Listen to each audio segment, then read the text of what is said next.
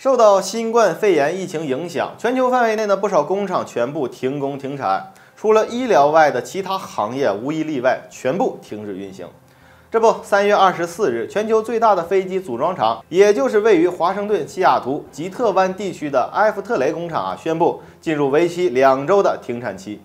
埃弗特雷工厂呢是波音公司的组装工厂啊，而波音公司的七四七、七六七、七八七等型号的飞机也都是在这里啊生产出来的。等到两周过后，波音却宣布该工厂的停产期限啊将进一步延长，而具体期限呢则没有确定。并且，就连波音公司位于摩西湖地区的工厂也全部停止运行。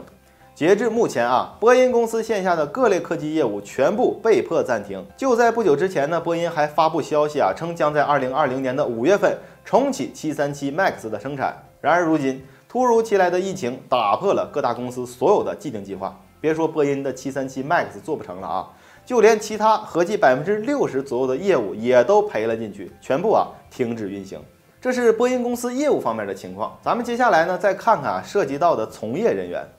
波音公司的员工数量多达七万人，而截至目前啊，其停产一共涉及到了三万多名员工啊，接近总员工数的一半。咱们刚才也提到，西雅图工厂在上个月先进行了为期两周的停产，在此期限内呢，所有员工都是带薪休假的，但自后续的延期开始，所有员工在停业期间一分钱都拿不到。甚至呢，一些员工啊，因此直接辞职，彻底啊放弃了疫情期间的工作。一项研究显示啊，大部分美国人手中的存款大致在一千美元左右，因此呢，怎么顺利度过疫情期间的生活就成了一个问题。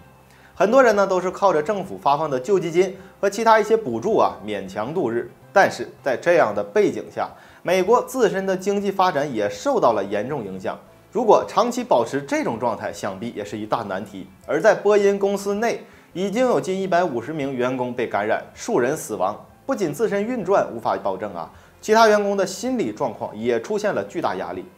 目前，只有南卡罗来纳州的查尔斯顿工厂呢没有受到影响，还在正常生产。但以目前全球航班大幅减少、美国疫情迅速增长的形势来看，这家工厂停工也只是时间问题。虽然呢，这几家都在美国，但全球经济高度融合的现在啊，一国停产就会引起全球范围内的连锁反应。我国天津的波音复合材料有限责任公司呢，虽然已经复工复产了，但奈何全球范围内啊订单数量大减，可能会出现求不应供的现象，着实无奈啊。除了天津的公司，波音在上海啊、厦门等地区的分部呢，也都受到了影响。全球化时代，没有任何一个国家能够独立发展，只有等待疫情过去，全球经济进入正常轨道，我们国家的经济啊才能够彻底恢复啊。